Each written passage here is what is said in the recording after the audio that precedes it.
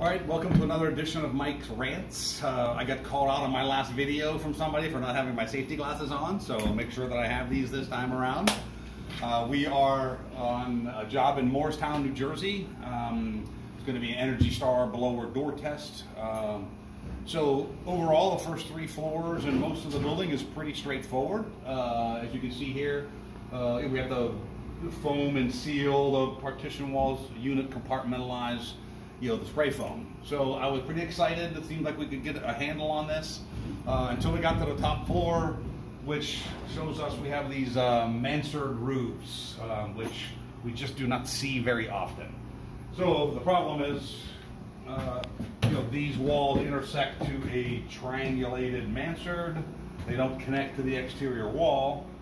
It's uh, impossible to air seal all of this. Uh, you take a look here, it's you know, even though it's sealed from unit to unit, we have these big parapet mansard dead spaces that are impossible to, you know, air seal, and then everything leaks into these mansard here, which then these, that doesn't continue.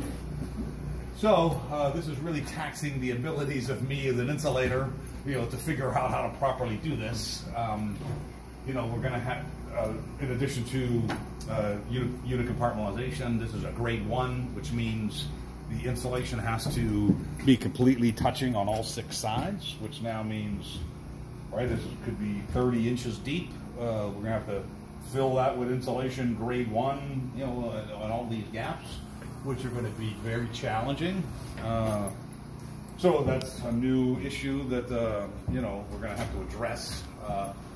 Hopefully I can figure out what we're going to be able to do here. Um, you know, to give the customers paying a lot of money now to get the air sealing and the unit compartmentalization and the blower door test. And, uh, you know, I feel obligated to do everything I can to make it happen. But we're probably going to need air barriers or something installed at some of these locations in order to, you know, separate these units. Here, this roof, another low roof, know, it's open to the outside yeah, that needs to be uh, sealed with plywood so that we can air seal it.